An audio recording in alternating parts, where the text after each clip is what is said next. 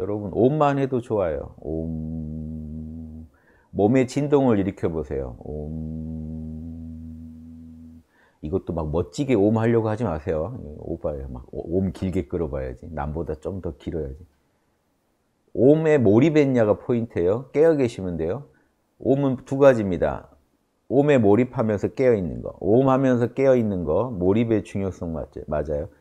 옴에 몰입했느냐랑 두 번째 그 옴이 몸에서 일으키는 진동을 느껴보는 거. 진동에도 몰입하는 거. 그냥 옴 하는 거에 몰입하는 거. 옴이라는 말을 하는데 몰입하는 거. 플러스 옴으로 인원해서 몸에 일어나는 에너지적 진동에 몰입하는 거. 이 두 개를 느껴보세요. 옴... 몸이 경락에 난리 납니다. 경락이 엄청 좋아요.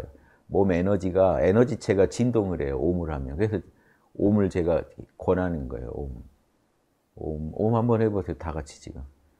옴, 몰입해서 하세요. 그냥 옴, 막 멋있게 막, 옴, 이러지 마시고, 옴, 하면서 손끝, 발끝까지 지금 진동하는 거 느껴지세요? 옴, 크게 안 해도 돼요. 속으로만 할 때. 저는 항상 해요. 요게 에너지를 일신시켜 주기 때문에 항상 해요. 아픈 데 있으면 아픈 몸 아픈 데다가 옴 때려요. 그러면 거기 기혈이 막 경락이 타통돼요. 기혈이 난리 납니다. 옴 진동을 계속 때려주니까 에너지체가 엄청 잘 흘러다녀요. 그 말을 아예 안 해도 돼요. 생각만으로도 진동이 일어납니다. 생각만으로도 진동이 일어나요. 해보세요. 지하철에서는 무음으로 진동만 하세요. 요거 하면서 깨어 있잖아요. 일거양득이죠. 에너지 순환 잘 돼. 깨어 있는 마음 유지돼. 뭐든지 나무아미타불도 좋고. 옴 몰라 괜찮아. 왜 옴 했겠어요? 옴 넣겠어요. 그냥 넣은 게 아니에요. 옴으로 몰입력 한번 확 끌어올려서 옴 할 때 깨어 있으면서 몸까지 이용해서 깨어 있으면서 몰라 괜찮아 해, 해보라는 거. 그럼 더 잘 된다는 거예요. 몰라 괜찮아.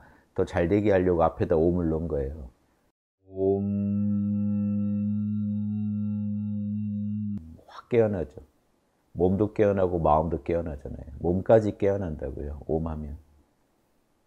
훨씬 몸까지 더 잘 깨어나는 거죠. 일반 명상만 해도 몸이 깨어납니다만 해보세요. 몸의 변화 느껴보세요. 음, 몸 기운이 보드랍고 맑아지는 느낌. 옴...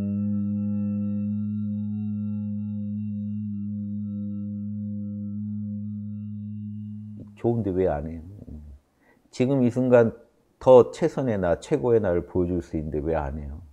옴으로 머리, 가슴, 배가 울리고 있어요? 손가락까지 떨리는 건 더 해봐야겠습니다. 손가락에 집중하면서 옴 때려보세요. 손가락 끝에 일단 마음을 모으고 거기까지 옴이 가는지 옴을 한번 때려보세요. 다른 사람 옴이 해도 효과 있나요? 있죠. 있으니까 기치료나 안수가 되죠. 안수가 별건가요? 옴 해주는 거예요. 저한테 누가 그런 거 부탁하면 오메 해드리는 거예요.